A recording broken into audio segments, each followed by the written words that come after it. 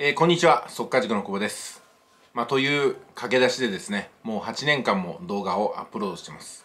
でも駆け出しにいつも速稼塾の久保ですと言ってはいても初期の頃の私はだいぶ今と違ってました。よく久保さん羨ましいですねって言われますけどもそれは本当にそうでしょうか？私の羨ましいところだけを見れば羨ましいと思いますけども羨ましくない部分もあると思うんですよ、ね、例えば1万本の動画を撮って1億円。ね。これは本当ですけども、1億円というところだけを見ればうめ、羨ましいでしょうけども、1万本の動画を アップロードする。これ、どうですかね？やりたいです？羨ましいですか？え、そして、速稼塾の久保ですと8年間言い続けましたけども、とてもじゃないけども1年目、羨ましいと思われるような、そんなところはあんまりなかったと思います。借金も当然ありましたし、麻雀店の経営もありましたし、そして毎日速稼塾の情報発信と熟成のお迎え。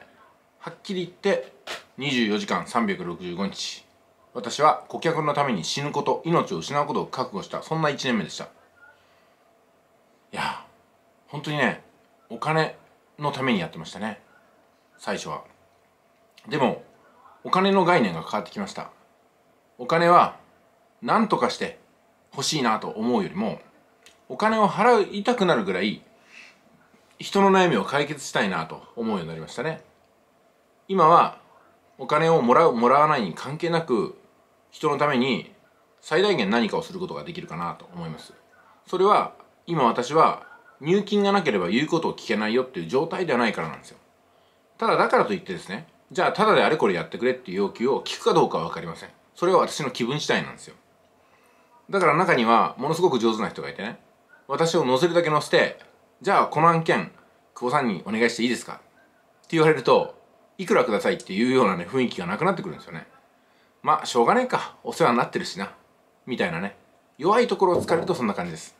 でも、何もかも、とりあえずは、久保さんはタダでやってくれるらしいよ。みたいな感じでやると、ちょっと冗談じゃないなと思いますね。あくまでも私が、もう、銭金抜きでやらしてください。みたいに思えるほどの頼み方なり案件なら身を乗り出しちゃいますけどもでもねあんまりないんですよそういうのって。なんか結局金は払わないけどもやってほしいというね依存心依頼心。これがねあるだけなんですよ。速稼塾の久保ですと。言い続けて8年なんですけどもいろんな時期がありました。もちろん皆さんにもいろんな時期があったでしょう。でも私の最初の3年間の速稼塾久保ですは言うたんびにお金がない。お金がない。なんとか稼がないと。という感じでした。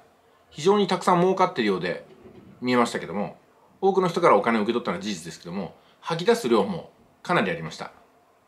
税金の滞納、そして毎月100万円の赤字経費、店舗も赤字だらけ、従業員の給料も火の車。当然自分に使うお金なんてありません。PP でしたよ。ね、島屋山口会長が、お久保君30万くれんか、50万くれんか。まあ、こんな感じですよ。まあ、ですからね、全てが羨ましいわけではないんですよ。羨ましいの裏には羨ましくないことがありますから。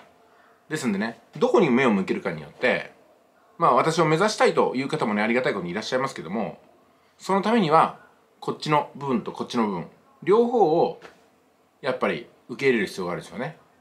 美味しいとこだけいいとこ取りっていうのは、なかなかないんですよね。ねえ、吉谷さんね。うん、まあでもね、うん、私はそういうのも込みで、自分の人生から逃げない全てにおいて勝負していこうかと思いますね、うん、私の現実はいいことも悪いことも合わせ飲んでいくって感じですかね。よしやるぜいってらっしゃい。